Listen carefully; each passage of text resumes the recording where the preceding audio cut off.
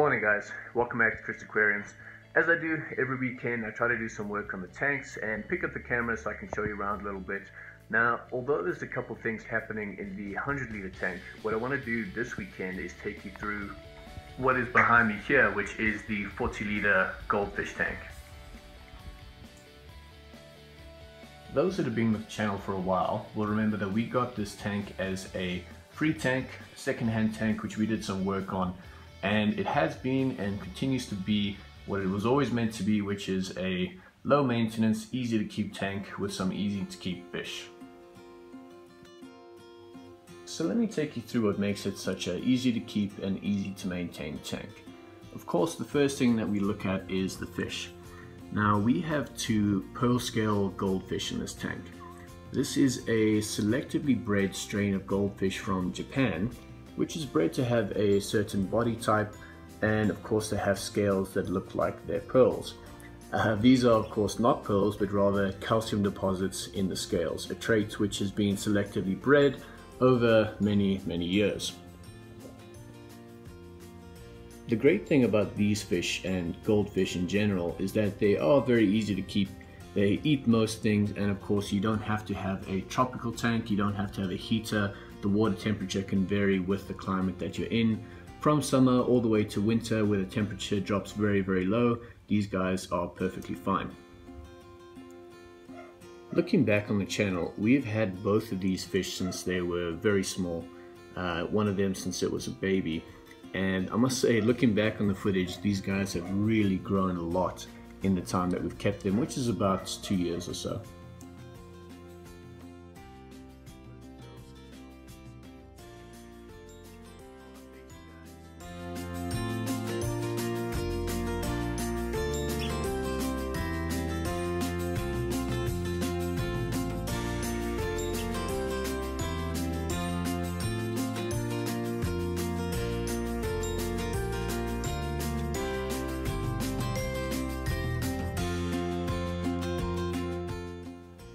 So looking at them from when we first got them uh, as a tiny baby to the size that they are now, and they're not finished yet. They're still going to keep growing and keep looking more and more like a golf ball.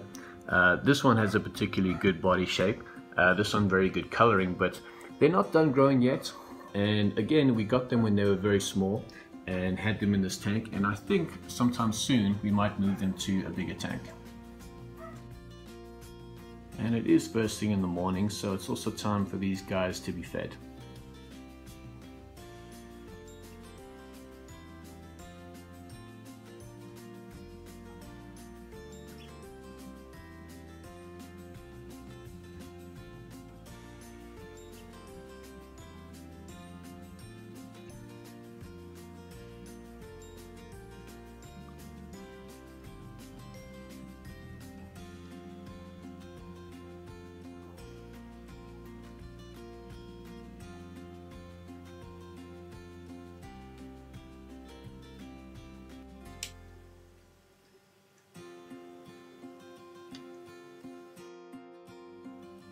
Course, when you're keeping a easy maintenance tank, you also want something there that can help with the cleaning. And this is one of the two golden apple snails that we got a couple weeks ago. Uh, you'll see the video where we got them. We got one bright one and one darker. So we have two golden apple snails. The one is a bit brighter than the other. And I'm going to take the brighter one to put into the 100 litre tank because I think it'll contrast well with the black background and the black substrate.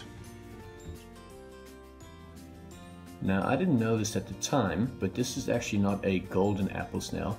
As you can see, he's quite a bit darker. Um, but still same species and does the same job. And he will go around eating algae off the glass and any detritus or additional material that's fallen to the bottom of the tank just to help with the cleaning and maintenance so there's less for you to do. Speaking about cleaning, we also worry about the water quality. So this here, which you can see is a live plant. It is jungle val, vallisneria. And what this does is just a small plant to help with the filtration of the water, the oxygenation of the tank, and just to reduce the filtration needs. Then onto the filtration itself. This is just your typical SH300 filter. with activated carbon charcoal on the bottom and filter floss on the top. That gets your biological and your mechanical filtration needs and it's easy filtration for this tank. At the bottom of the tank we put large stone gravel and the reason being it's the easiest to clean. So when you're doing a gravel vac or a water change, this is just the easiest to keep, maintain and to clean from your tank.